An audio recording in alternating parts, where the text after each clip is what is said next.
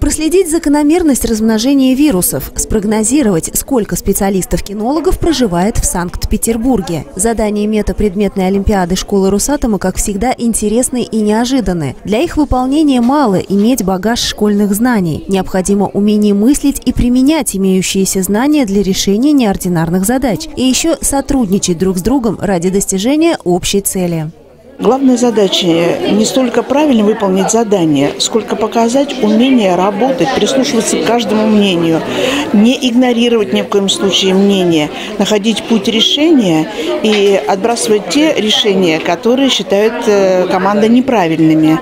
В рамках проекта «Школа Росатома» метапредметная олимпиада проводится уже в четвертый раз. В отличие от состязаний по отдельным школьным дисциплинам, здесь важен не только результат, но и процесс его достижения. В каждой команде четыре человека, по одному из пятого, шестого, седьмого и восьмого классов. Работа в такой разновозрастной сборной учит школьников навыкам коммуникации, что для жизненного успеха не менее важно, чем знания. Эксперты оценивают и вклад каждого в общее дело, и эффективность совместных активных действий. Все дети должны объяснить, как они дошли до результата, должны объяснить, почему такой результат. То есть здесь э, вот как раз важно то, что если в команде кто-то один знает, он должен научить, показать э, всем другим. В метапредметной олимпиаде два тура. В первом участники в течение 40 минут выполняют три задания совместно, а затем каждый работает индивидуально и за 20 минут решает задачу самостоятельно. Во втором туре, кроме поиска решения проблемы, команды должны подготовить презентацию итогов своей работы. Докладчика определяет жребий, поэтому к выступлению должны быть готовы все конкурсанты. Условия Олимпиады требуют определения мест, которые завоевали команды. Тем не менее, каждый, кто отважился принять принять участие в непростом интеллектуальном состязании, уже победитель.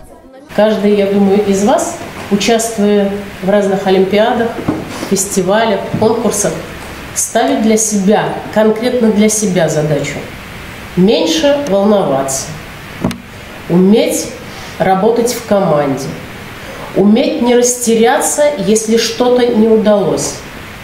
Это и многое другое составляет нашу с вами внутреннюю сущность. Это то, что делает нас с вами более успешными. А если уж так по-взрослому говорить, закаляет характер. В муниципальном туре четвертой метапредметной олимпиады приняли участие все зареченские школы. Дидакт номер 216, 222 школа и лицей номер 230 представили по две сборные. Таким образом, на старт соревнований вышли 11 команд.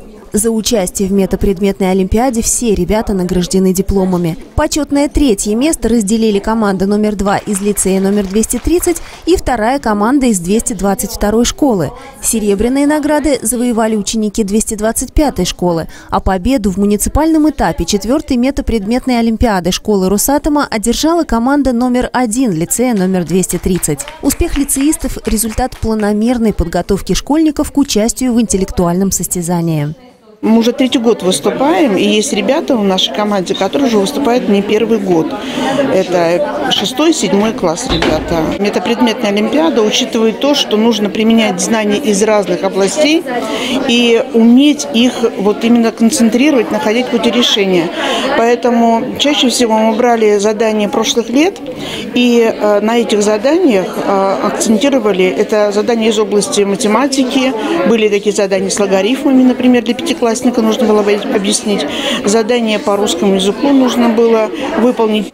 В начале апреля лицеисты отправятся в город Удомля Тверской области. Там им предстоит защищать честь города в финале четвертой метапредметной олимпиады школы Росатома. Светлана Теплухина, Сергей Путинцев, телерадиокомпания «Заречный».